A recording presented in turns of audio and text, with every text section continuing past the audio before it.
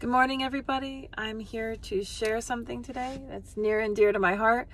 I'm going to be talking about the Magnificent Seven, which is also known as the Seven Spirits of God. Um, for those of you that aren't familiar with this uh, Seven Spirits or the Seven Spirits anointing, um, I encourage you to check it out in Isaiah 11, verse 2. So, back in 2016, I was doing a lot of research on angels I was studying all the names of different angels. I was encountering angels. Um, my youngest son, who's also a seer, was experiencing this. And when I was in the middle of my research, I heard an audible voice say to me, You will see the Magnificent Seven. And at first, I didn't know what that meant. I, um, when I researched it, I actually laughed now because I looked up the Magnificent Seven, and it was this old Western movie. Actually, they did a remake of it later, but where um, this town was being harassed by these, um, I don't know, these villains, and they just kept coming in and tormenting them. The woman had even lost her husband um, due to these attacks, and so she set out on this search and this search led to her to finding these seven men who came to defend um, their town. It's a really fun story, but that was not the direction that the Lord was pointing me in. Um, the Lord was um, showing me that the Magnificent Seven were actually the seven spirits of God. And in a way, they're like those men that came in and fought and defended the town. Um, so when you receive that infilling, of that seven spirits anointing, the um each one has a different aspect and a role that they play in your life to defend you, you know, and encourage you and keep you on the right path. So um so in Isaiah 11 it talks about the spirit of the Lord. So if you can envision yourself as a lampstand and you're standing there and you receive that anointing oil, that would be the spirit of the Lord represented by red um, then if you imagine um, yourself as the lampstand, so each of these um, branches of this candlestick, the spirit of wisdom is lit up, the spirit of understanding is lit up, the spirit of counsel, the spirit of power and might, the spirit of uh, knowledge or revelation, and also the spirit of the fear of the Lord, which I call awe and reverence. So, um, an interesting thing about these is the Lord, um, I took time each week to do a study on each of these seven spirits, and the Lord um, showed me scripture verses.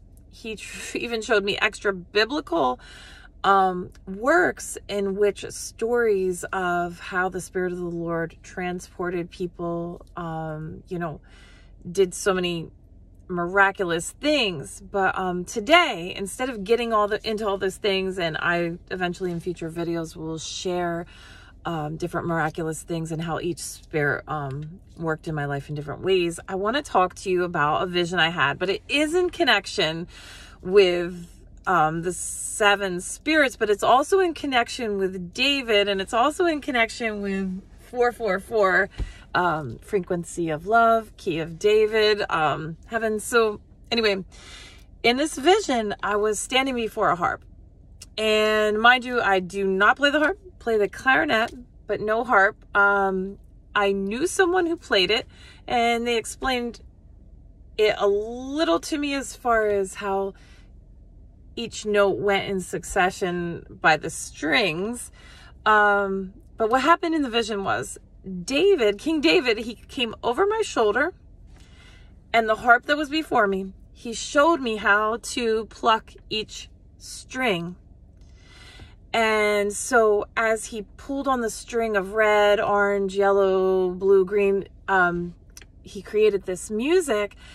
And I was shown how the harp, which is also the seven spirits of God in a sense, that it was a form of warfare. And if you think about it, when Saul was tormented by the demons, demons um, that were harassing him, he would call on David to play his harp.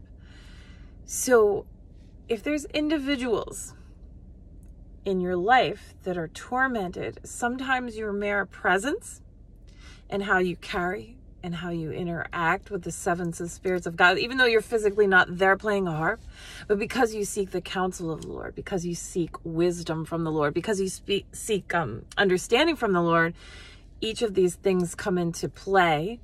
Um, play, I guess, pun intended.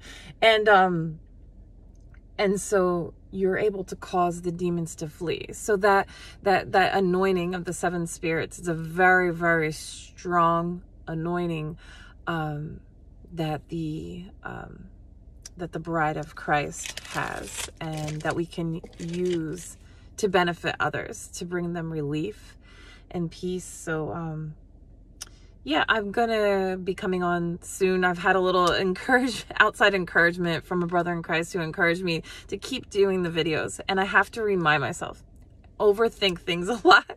And I tend to delete things and re-record things and I think now I'm just trying to go with the flow of things. And um, before I go today, there's one little word I also wanted to slip in there. It's kind of off topic, but um, it's related to the topic of um, kingdom spouses and um, a little issue concerning confusion like when will I meet them or if I have met them, how come, you know, they don't see it like I see it. And anyway, there was a situation a few years back where um, the Lord was speaking to me about a certain man that came into my life, a Christian man.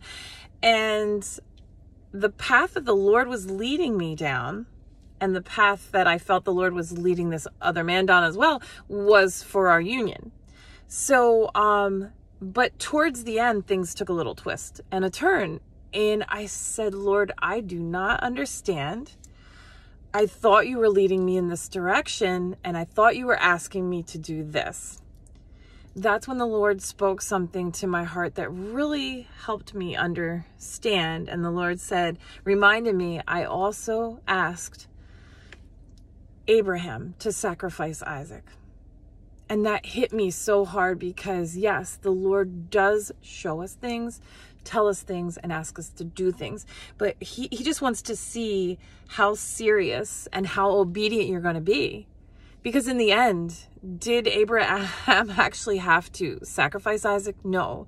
There was a better way, a better solution. So I just want to speak that out there for someone um, for encouragement because you're you're being diligent. You're following the Lord. You're listening to the Lord. You're hearing from the Lord. He's giving you direction. And you think your life is going in one direction and it takes swift turns and sometimes it will lead you down another path that you never saw coming. But um, just know and be encouraged that, like Abraham, you're being obedient to the death. Um, you're seeing so much loss, but God is bringing greater things into your life and I hope this encourages you. And thank you for listening. I'll be posting um, some more in the future. All right, you take care and have a blessed day.